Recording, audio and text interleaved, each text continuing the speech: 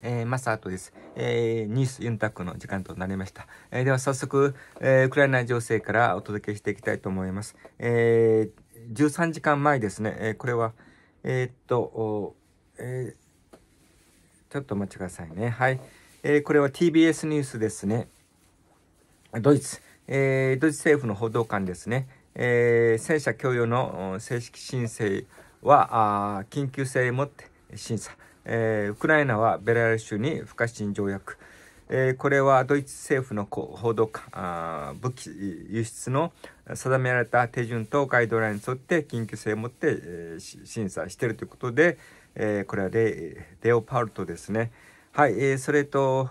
えー、55分前ですね、いつも拝聴しています、えー、情熱かさチャンネルのニュースの虎側から、えー、ドイツ政府が英断、ついにレオパルト2、ウクライナ供与へ、さらに、えー、エイブラムス戦車供与をアメリカ、えー、これは、えー、アメリカも決定かでクエスチョンですね。どうする？ロシア、プーチン、えー、ということで、えーえー、レオパルトがなかなかドイツのショルツ首相が、えー、渋ってますね。はい、えーえー、それと、ウクライナ情勢、えー、新防衛研究チャンネルでは、えー、25日ですね、えー、ウクライナ選挙、1月25日、えー、午前0時ですね、えー、3.5世代戦車がウクライナへ、えー、レオパルト2、A6 と、えー、M1、エブラム、エブラムス A2、ともに供与の方向で決まりかということで、えーうん、新防衛研究チャンネルも、うん、レーパルトのことが、えー、述べられていますね。えー、ドローンを追撃するとウクライナ兵ということで、えー、新防衛、ええー、研究チャンネルですね。3.5世代戦車が、えー、ウクライナ、えー、レーパルト2、えー、6と M1、えーエイブラムス、エイツともに供与の方向で、え、決まりかということで、ええー、一斉に、え、なニュースになってますね。え、それといつも先ほど、えー、配置をしましたあトッサン TV さんの方では、まあ、13時間前ですけど、えー、バルト三国エストニア、えー、対ロシア強硬姿勢が、すがすがしいベルト出ることで、えー、詳しく 安全保障のバルト三国のエストについてね、えー、ご視聴わかりやすく解説がされてましたですね。それと、いつもネット大衆紙ブルーカラーさん、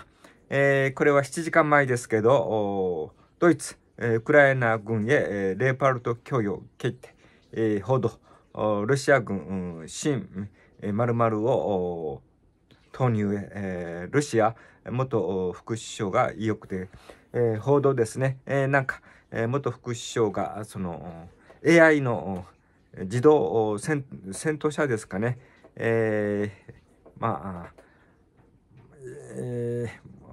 えー、どどせあの戦場で、えーまあ、プーチン大統領が AI のそのあれを進めてるということで、えー、試験的に、えー、ということで、えー、プレ、えー、クレムリンの権力争い、えー、じゃないかということで、えーえー、上がっています。はい。えー、それと、えー、これは10時間前ですね。えー、これはまた ANN ですね。えー、ウクライナ高官ら不不祥事で相次ぎ辞任、えー、これ AN 10時間前ですね。ウクライナ政府高官ら相次いで辞任。ゼレンスキー政権内で何か、ロシアは米の関与してということで、えー、いろいろと辞任が相次いでいますね。えー、ウクライナ高官不祥事で相次ぎ辞任。えー、ウクライナ政府高官ら相次いで辞任。ゼレンスキー政権内で何か、ロシアは米の関与を指摘ということです。これ24日ですね、昨日ですね。えー、これはウクライナ大統領府のティモシエン、えー、国防省で時間ですね、相次ぎ、えー辞任してますね。はい、え、それとですね、はい、え、っと、これは1日前ですね、チャンネルクララさん、ええ、いつも、えー、改めて、えー、配置をさせていきますけど、イギリス戦車、えー、チャレンジャー2、ドイツレオパルド2戦車供与、ウクライナ領土回復へということで、陸海空空軍人による、うえー、ウクライナ領土回復ですね、えー、陸将、これは伊藤、えー、これは、えー、っと、1日前ですね、えー、チャンネルクララさん、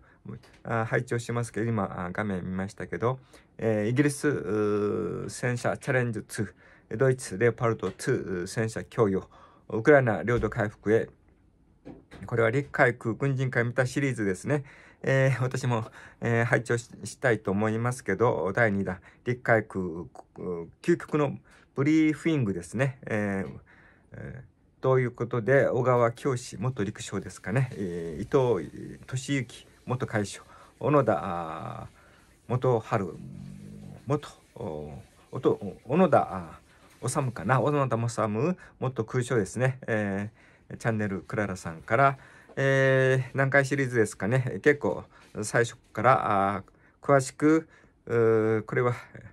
えー、っと2023年1月20日の BBC ニュースですね。これはこれはまあいろいろとはいえー、えー、今日は、えー、時間の許す限り配置をしたいと思いますけど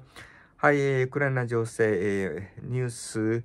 えー、ですね、えー、新防衛研究チャンネル、えー、えー、とそうですね、えー、昨日もデヴィ夫人ですね、えー、まあ4時間前ですけど、昨日もデヴィ夫人、ウクライナに支援物資届ける、旧訪問への思いを独自取材ですね。えー、もうボグダンさんも個人で、えー、日本から多くの救援をしてますけど、えー、デヴィ夫人、またその独自のそういうですね。デヴィ夫人ウクライナ訪問中。一刻も早く支援、うん、物資をということで、えーえー、そうありたいですね。はい、えーえー、避難勧告も心得ていますということで、えーえー、はい。えっとトップニュースからは今日はまあえこちらも昨日はマイナス3度でしたけど、えーえー、まあ思ったほどまあ良かったですね。大雨にならずに、えー、よかったです。天気ですね。天気で、えー、これが、えーえー、TBS ですね。TBS1 時間前ですね。明日の天気、気温、降水確率、週間天気など、TBS 夕方ですね。えー、こちらも大事にならん、えー、福福岡2.3那覇が15.5ですね札幌寒いですねマイナス8.9東京が3.7ですね鹿児島5.5ですねはいえー、それと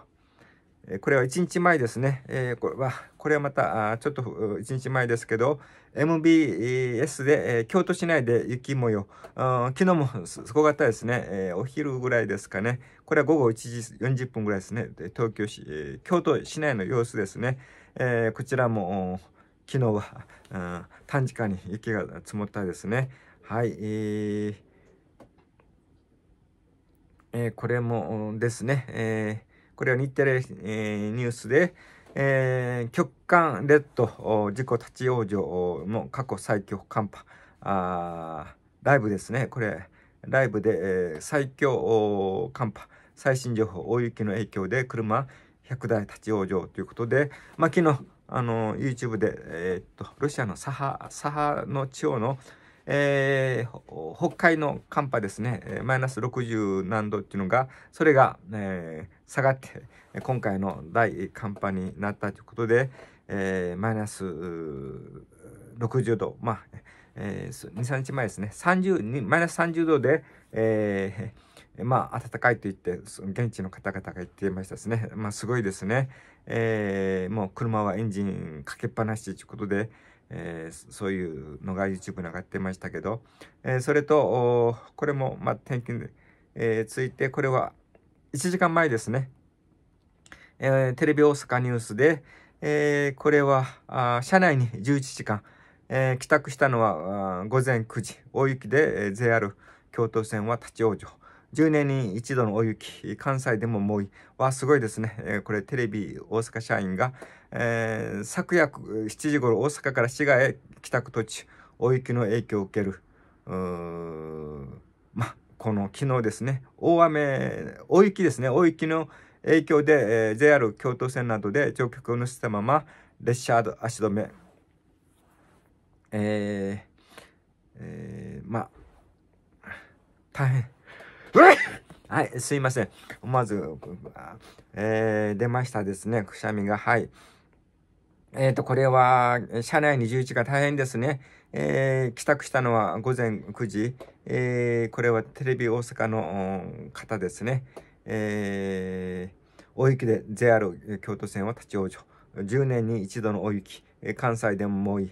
えー、もう大変ですね。もう、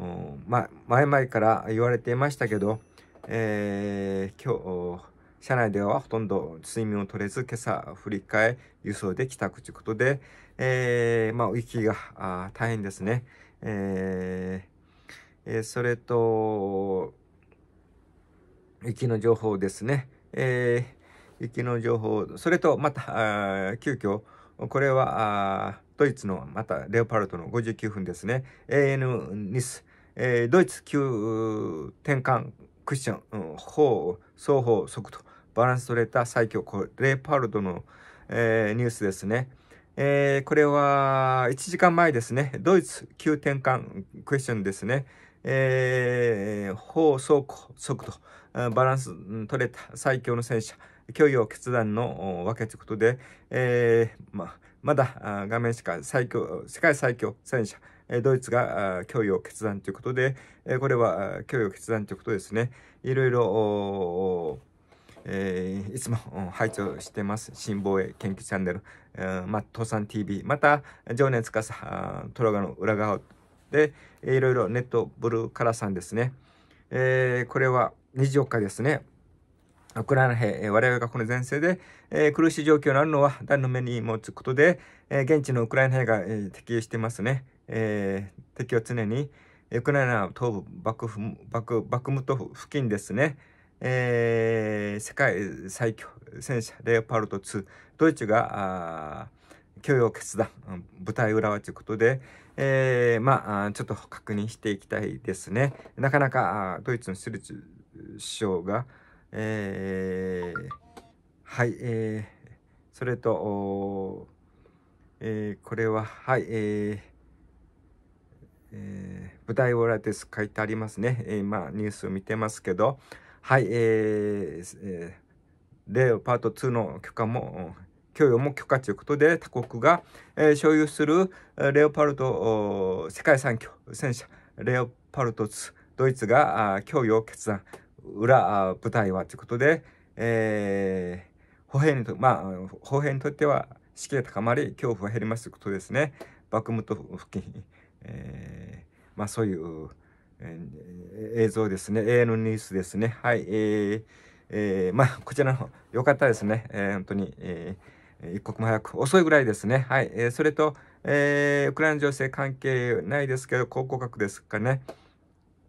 また1時間前、ガラッと変わりますけど、えー、読売テレビニュースから1時間前、考古学者も驚き、縦の、うん、縦の形をした銅の鏡と長さ2メートルを超える。これはまたすごい、えー、びっくりしましたということで、えー、仰天した感じ。奈良市の古墳から出土ですね。1月25日、今日水曜日ですね。えー、考古学者も驚き、えー、縦の形をした銅の鏡と長さ2メートル超える蛇行剣剣ですか奈良市の古墳から出土ということで、えー、まあ現代から古墳の時代に、えー、びっくりですね。はい、えー、こういう感じで、えー、っと、ウクライナ情勢、急転換じゃないですけど、遅すぎないなりましたけど、えー、ドイツがレオパルドの供与を急転換したということで決まりか、えー、これも新防衛研究チャンネル55分ですけど、まあ、午前0時3.5世代戦車がウクライナレオパルト 2A6 M1A グラムス A2 ともに供与の方向で決まりかということで、えーえー、なってますね。はい、えーえーえー、こちらチャンネルも、えー、まあ、あえー、ニズ、えー、ユンタク、ウクライナに平和、また、ウクライナの、ウクライナに完全な主権の回復を、また、ウクライナからロシア軍の撤退ということを、もっとスローガンに掲げています。まあ、主に、ウクライナ情勢、えー、また他の、国内、海外のニュースをお届けしています。えー、ニュースユンタクです。えー、まあ、個人的には、えー、今日は、まあ、週1、2日制ですけど、日曜日と週に1日、えーまあ、半休が2日とか、1日、今日は1日ですけど、まだまだ歯の治療で、えー、なかなか喋りがくないですけど、えー、まだ、ロシアとウクライナ、厳しいですね。えー、まだまだ厳しいですけど、まあ、確認していきたいと思いますね。えー、ドイツが、えー、レオパルト2、急転換、決断、えー、英段階ということですね。レバルト2、もう多くのウクライナでも、えー、命が落としていますので、えー、まあ、ボグダンさんも知り合いの、うん、知人が戦死したということで、えー、動画がアップされてました。えーまあ、日本からもマリアさんが行って、またデヴィ夫人も、まあ、えー、官房長官から避難勧告が、えー、出てますけど、その思いですね。えー、こちらも、マサ後のニース、ユンタクも先ほど言ったように、えー、ウクライナの平和、また、えー、ウクライナの完全な主権の回復を、ウクライナからロシア軍の撤退をモットーにしています。このマサトの YouTube チャンネル登録、またコメント、またいいねボタンとよろしくお願いします。えー、次回のニュースユンタクでお会いいたしましょう。仕上げにスパシャンプレジュ、シャロム、シャロム。